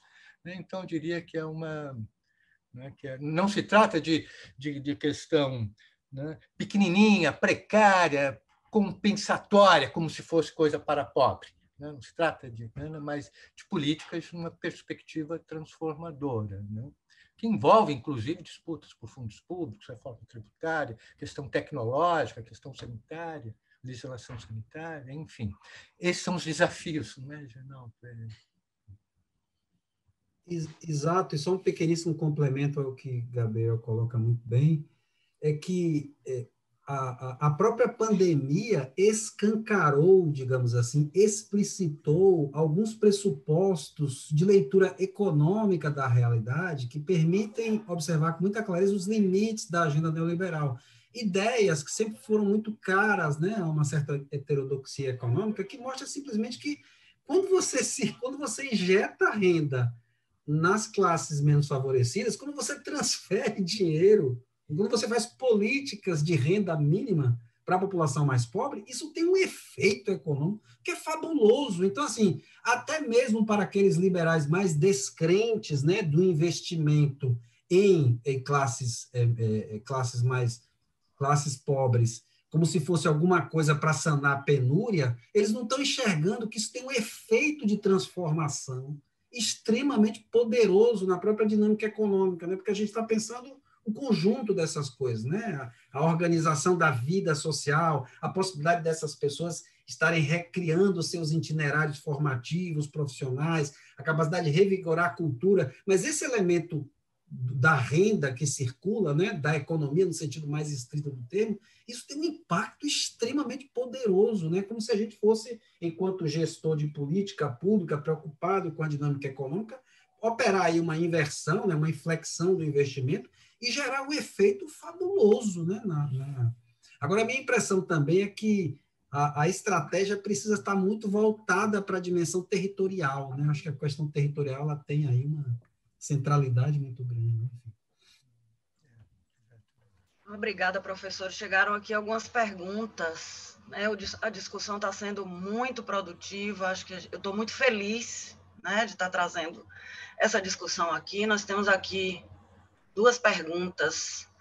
É, alguém que me conhece, me chamando de Cris. Oi, Cris. Das ações do governo da Bahia citadas pela professora Cristiane, com a implementação de empreendimentos solidários nos territórios de identidade, como se caracteriza a governança de tais esforços?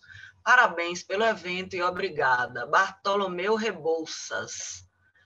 Eu parabenizo a iniciativa do grupo de estudo por ter pensado e concretizado este debate. Parabenizo igualmente todas as figuras aqui presentes. As apresentações foram sensacionais. Eu gostaria de fazer a seguinte pergunta ao França Filho. Então, nós temos aqui uma pergunta que não está endereçada, deve ser para o professor Gabriel, né? É, com a implementação de empreendimentos solidários nos territórios de identidade, como se caracteriza a governança de tais esforços? E a segunda pergunta é para o professor Janalto. A economia solidária é compatível a qualquer tipo de sociedade, independentemente do seu modelo de produção? E tem uma outra pergunta ainda, professor Gabriel. Devido ao avanço impressionante do agronegócio brasileiro e à criminalização da solidariedade pelas políticas neoliberais atuais, quais são os principais desafios da economia solidária e de que forma ela pode impulsionar a reforma agrária no país. Obrigada. A segunda é da, é da Wendy. Então, o Wendy é nosso colega de grupo. Né? Então, pegaram aí as é, perguntas? É, é do Wendy. Do, do, do Wendy. Do, do Wendy, é. Porque aqui está dá. Aqui está é escrito é dá. Então, as, as perguntas estão lançadas. Né? Nós, nós estamos chegando no limite do nosso debate. Infelizmente, é, o tempo foi curto para tamanha complexidade, né? mas eu deixo aí as perguntas para os dois Pode, professores. Podem ser respondidas, ainda temos um pouquinho de tempo, sim. Temos, temos, com tranquilidade. Tá, eu vou responder essa pergunta 2 a economia solidária é compatível com qualquer tipo de sociedade, independente do seu modelo de produção? Eu não sei se eu entendi bem o significado dessa expressão, modelo de produção, porque a minha resposta de bate-pronto é sim. E aí, isso não é apenas uma, vamos dizer assim, uma especulação. A gente, inclusive, enviou para o Le Monde Diplomatique um manifesto internacional pela economia solidária, que acaba de sair agora no jornal Le Monde, da França, acaba de sair, não, saiu dia 20 e poucos de outubro colega Jean-Louis Laville, ele tem contatos no mundo inteiro e tal. Então, você tem pesquisas hoje sobre a economia solidária no mundo inteiro. Aliás, na Europa, a expressão mais utilizada hoje é economia social e solidária, porque é uma tentativa de construir uma aliança né, entre as novas práticas de economia chamadas de economia solidária e as formas mais antigas de economia social. Então, está havendo aí um. No Brasil, a expressão mais, eu diria, é, melhor definidora é, sem dúvida alguma, essa que o Gabriel tem trabalhado há muito tempo, que tem a ver com a ideia de economia popular e solidária, né, que parte muito dessa base da economia é, dos setores populares. Então, sim, sem dúvida alguma, a, a, economia solidária constitui um outro modo de organizar a vida, né, em última instância, né, a, a geração dos recursos materiais, a mobilização dos recursos, portanto, uma outra forma de organizar a economia. Então, ela, ela a rigor, sempre esteve presente né, em diferentes sociedades. É verdade que aquelas sociedades que conseguiram expandir o seu estado de bem-estar social é, é, acabaram construindo, através desse sistema de mais equilíbrio, né, entre Estado e sociedade, é, um espaço menor, digamos assim, para essas iniciativas. Mas esse sistema ele se encontra em crise, né? atualmente. E aí você tem não só a reemergência dessas experiências e a reatualização delas né, em diferentes sociedades, como uma forma de superar os dilemas do próprio capitalismo, mas existe também uma experiência histórica que é de escolha, né? que é de escolha por um modo de organizar a vida, por uma maneira de trabalhar que é diferente daquela que a gente se acostumou com o capitalismo. É por isso que a gente tem, assim, tradicionalmente, uma, uma, uma visão e que associa é, de maneira muito justa a economia solidária com a organização popular, mas você tem gente, por exemplo, de base social mais abastada, profissionais liberais, por exemplo, que decidem optar por um modo de vida, por uma forma de trabalhar diferente, vão construir organizações que até então, antes a gente não chamava de economia solidária. Né? Por exemplo, as ecovilas, por exemplo, que são, a rigor, formas de solidariedade econômica também. Então, assim, sem dúvida alguma, a economia solidária ela é absolutamente compatível com qualquer tipo de sociedade, ela existe em diferentes sociedades, ela está nos cinco continentes e ela encontra feições, contornos muito apropriados, né? embora a gente tenha muitas experiências comuns.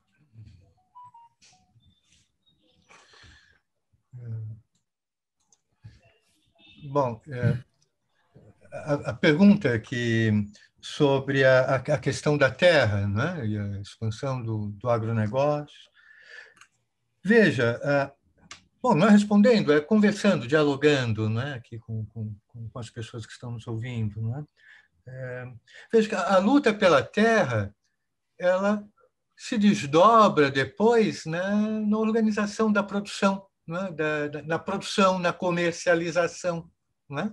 A luta pela terra vai se desdobrar pela inserção desses trabalhadores né, no mercado de uma outra forma, quer dizer, a inserção a inserção pelo trabalho, né? a inserção pelo trabalho, mas uh, eles vão participar do mercado de uma outra forma, com uma outra organização social, que vem da onde? Da luta pela terra. Né? Então, uh, o, mercado visto também aí como algo simultaneamente é, econômico e social. Né? Quem restringe o mercado a algo apenas econômico é a concepção liberal. Né? Nós não, o mercado é o lugar em que há a troca, o resultado do, do trabalho humano. Né? Então, veja que no mercado, e ao, ao participar, então, no, no, né, pela, comer, pela produção e comercialização dos seus produtos, que resulta da luta pela terra, pela reforma agrária, etc., né, isso é, passa a se ter o quê? A, a, presença da política ali onde normalmente se vê, aparece como, como coisas separadas, né? mercado e política. Né? Como, né, o, o, não, é, ao participar do mercado, via a organização do trabalho, uma outra forma de organização do trabalho, você também está fazendo uma atividade, está participando da economia numa perspectiva transformadora, via o mercado, inclusive. Né? Então, você vê que a política, a transformação social, ela não, não se dá ali, ali contra o mercado, né? quer dizer, parece, mas o mercado é algo, já dizia o Brodel, o mercado não, não, não, não é algo. Economia de mercado e capitalismo são coisas diferentes economia de mercado, o mercado antecede né, o, próprio, o próprio capital. Não é? Então, creio que é possível, sim, você né, promover né, transformações e a, né, a, luta pela terra, e, enfim. É, a, a, questão da governança, a pergunta do, do Bartolomeu, não é que você identificou, Cristian? Bartolomeu, se é que eu estou pensando, deve ser um colega da Universidade Católica, professor Bartolomeu, se é que eu estou pensando, figura queridíssima. É, não, sem dúvida, eu acho que pensar os empreendimentos descolados do território é uma abstração, não é? É uma abstração. Os empreendimentos eles existem nos territórios como palco de determinadas relações sociais. É? Então, até mesmo que diferencia, diferencia o empreendimento situado no espaço rural ou, urbano, não é propriamente a divisão rural, urbana, mas é as relações com os meios de produção. Dizer, o agricultor familiar já tem os meios de trabalho, etc. Né? Então, pensar os empreendimentos descolados dos territórios é uma, é uma abstração. Como é que se dá essa governança? Eu acho que esse é, é o grande desafio também, né? como, como articular os empreendimentos, né? saber a, se alia, né? E, pode ter uma ambiência mais ou menos favorável. Né? Os territórios compõem essa ambiência mais ou menos favorável. Penso que a, a Secretaria do Trabalho aqui tem essa preocupação. Eu creio que sim. A, a, a, Secretaria do Trabalho que eu digo é a, os centros públicos né, de, de, economia, Superintendência Estadual de Economia Solidária. Né, eu penso que eu conheço, penso que sim. Ficaria por aqui. Bom, estamos chegando ao final, infelizmente, porque está sendo muito bacana discutir essas questões por aqui. Então, é, a gente está vendo que tudo passa pelo político, né? e tudo passa pela governança. Então, as escolhas que nós brasileiros devemos fazer são escolhas que contemplem o combate às desigualdades, o combate à precariedade, né? A gente viu que a solidariedade ela pode estar presente. Aliás, a solidariedade ela está mais presente e muito oculta, não é isso, professor Genalto? Existem várias manifestações da solidariedade, a doação de sangue, o trabalho voluntário, né? em políticas públicas é, redistributivas. Então, existem estacas de resistência, Estou né? aqui concluindo o nosso. Depois vou passar para o professor Genaldo, professor Gabriel fazer as considerações finais e depois o professor Renê, mas estamos vendo que existem luzes no fim do túnel e tudo depende das nossas escolhas, né? Depende também do fortalecimento das instituições. No meu entendimento, é, enquanto é, é, profissional do serviço público há quase 30 anos, é, é, preciso que haja incorporação do que, é, do que é produzido enquanto conhecimento científico, né? Então, é preciso que se ponha em prática o que nós, profissionais, inclusive da saúde, como eu sou, sou da Secretaria Estadual de Saúde e da Secretaria Municipal de Saúde de Salvador, é preciso que a produção desses sujeitos, nós temos várias produções na área de vigilância sanitária, saúde do trabalhador, elas sejam incorporadas também pelo serviço público. E que esses universos sejam é, é, articulados entre as diferentes secretarias. Eu gostaria aqui, então, de agradecer imensamente ao professor Genalto, foi um prazer muito grande revê-lo. Agradeço a prontidão com que aceitou o meu convite, ao professor Gabriel Crachete também. Eu acho que o debate foi muito promissor. Eu acho que ainda temos muito o que debater dentro dessa temática. E eu passo agora para os dois professores fazer uma, uma, uma breve despedida e para o professor Renê, a quem eu agradeço imensamente também, e a todos do Instituto é, de Estudos Avançados da USP, aos nossos colaboradores, Janaína, o João, né, a todos que estão, e aos nossos colegas que estão assistindo também. Né? Então, eu passo aos professores para a despedida final e logo em seguida ao professor Renê. Um abraço e muito obrigada.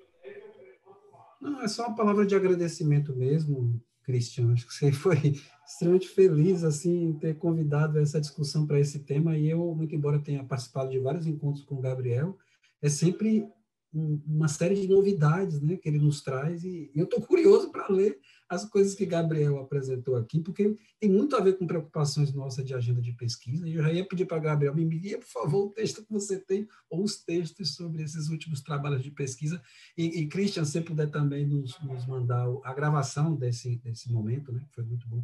Então, só, só agradecer mesmo e cumprimentar todos, e muito especialmente você, Christian, Gabriel e o professor René, muito grato, viu, por essa oportunidade. Christian, eu, eu, também eu agradeço muito, agradeço de coração a você. Para mim foi uma, um prazer, uma honra, volto a repetir, uma honra muito grande estar participando desse debate com a coordenação do professor Renê. Encontrar o Genalto é sempre uma, uma alegria. Fazia tempo que não, não, não nos íamos agora, não é, Genalto? E, uhum. Enfim, eu, eu sou muito grato e, e acho muito bom estarmos conversando sobre economia solidária nesses tempos em que, né, de busca de individualismo, de competitividade, de produtividade, né, de precarização do trabalho. Então, falarmos sobre sobre economia solidária, eu acho que é algo sempre muito legal no ambiente da universidade, né, com conhecimentos que contribuem para essa, uma prática social transformadora. Não é?